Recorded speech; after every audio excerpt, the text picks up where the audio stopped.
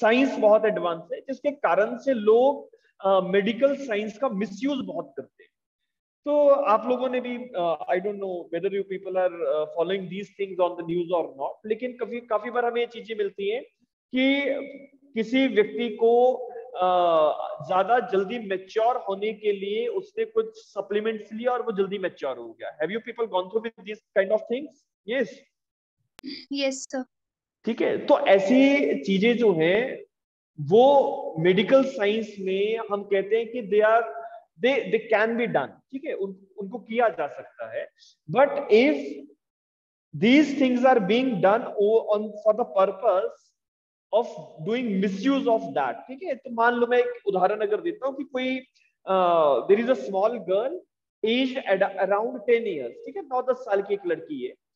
उसको अगर कोई वो केमिकल सब्सटेंस या कोई चीज़ ऐसी अगर दी जाए, जिसके कारण से वो जल्दी मेच्योर हो जाए and by that the person can sexually abuse that girl ठीक है? तो वैसे तो सेक्सुअल अब्यूज या सेक्सुअल असॉल्ट के लिए age of the child is not at all concern 18 साल से कम उम्र का कोई भी अगर बच्चा होगा, अगर उसके अगेंस्ट सेक्सुअल ऑफेंस हुआ है असॉल्ट हुआ है तो व्यक्ति लाइबल होगा।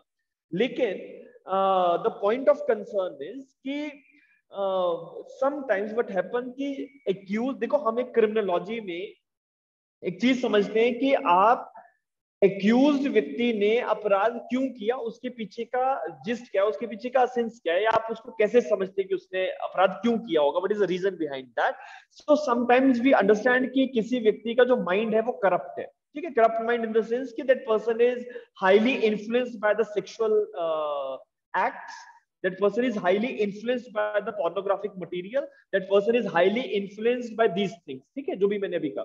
तो उसके जो सेक्सुअल डिजायर्स या जो जो उसका करप्ट माइंड उस, उसको चीज़ें करवाने के लिए प्रोवोक कर सकता है तो उसी चीज़ को समझते हुए क्लॉज यहाँ पे एड ऑन किया गया and we have to refer that particular clause as far as the offence of sexual assault aggravated sexual assault is concern तो इन्होंने लिखा that whoever persuades clause number we पढ़ रहा हूँ मैं सेक्शन नंबर नाइन का। Whoever persuades, induces, entices or forces a child to get administered or administered मतलब या तो करवा रहा है या कर रहा है एडमिनिस्टर्ड और एडमिनिस्टर्ड और डायरेक्ट एनीवन टू एडमिनिस्टर या किसी और के थ्रू ये काम करवा रहा है, क्या? Help in getting administered any drug और hormone or any chemical substance to a child with the intent that such child attains early sexual